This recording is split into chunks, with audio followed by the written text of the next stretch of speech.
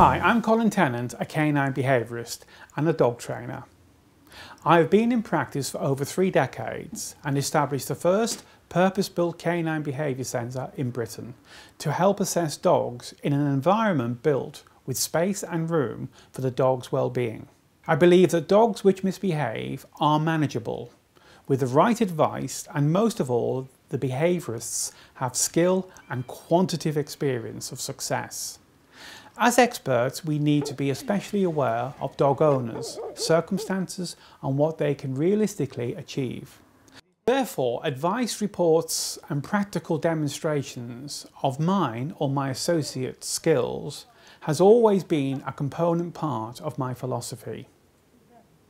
In other words, don't tell owners to do with a dog that you, the expert, cannot demonstrate, which is specifically true of dog aggression cases. Here I'm facing an aggressive dog and demonstrating to an owner what can be achieved with skill and calmness.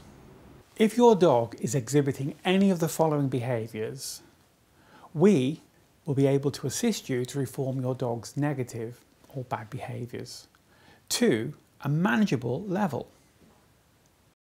An example would be separation anxiety, which is where dogs are distressed when alone. This can eventually lead to prosecution if the Noise Abatement Act is used by the local council against the dog's owner. But moreover, we aim to reduce and eliminate that mind state which the dog is exhibiting, the state which causes so much stress. Dog aggression on dogs. Prosecutions against dog owners is running at a very high rate for having a dangerous dog in a public place. It's critical to learn skillful handling techniques to bring such dogs under control. And that's what we offer. Dog on person aggression is also a serious problem. It can be mild, episodic aggression, like here.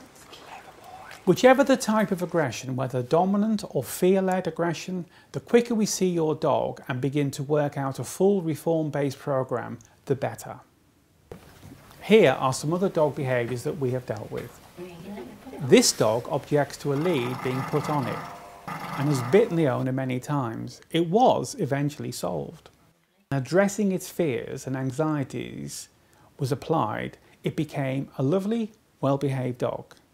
It's often a lot of work and you have to be able to commit to following through good behavioural advice and all the programs we set down. Yes, and little dogs can be problematic too. And this Pomeranian had a deep rooted jumping up behaviour. But eventually, with dog training and understanding what's determining its jumping up behaviour and implementing an ignore program, she eventually got the message to stop jumping up. Now toilets in your home can seem like a free watering hole for many dogs and sometimes this disgusts dog owners. Explaining why a dog does this is half the solution to solving the problem. The dog is hopelessly free from guilt and we can set other measures to help with this sort of behaviour. Children love dogs, but on occasion they can clash for many reasons. Sometimes a fearful dog doesn't like children, others about introducing a newborn baby, Advice is critical in these cases because we don't want dog bites. House puppy training can go wrong for a variety of reasons. And at my centre, experts will quickly set down programs to help teach your new puppy where you wish to establish its toileting. Now, older dogs with embedded toilet problems are often more difficult. They too can be worked on and we can change their behaviour with our expert advice and give that dog the best chance of becoming clean. Predatory aggression. Dogs are natural hunters, being carnivores, chasing ducks, horses, other livestock. This is normal dog behaviour, but in society unacceptable. We can set down rapid training courses, which will include obedience, to habituate your dog to accept all these different animals. And where the behaviour is intense, perhaps a long-term recall and obedience training program combined. The least you can expect is a training program that puts you in control.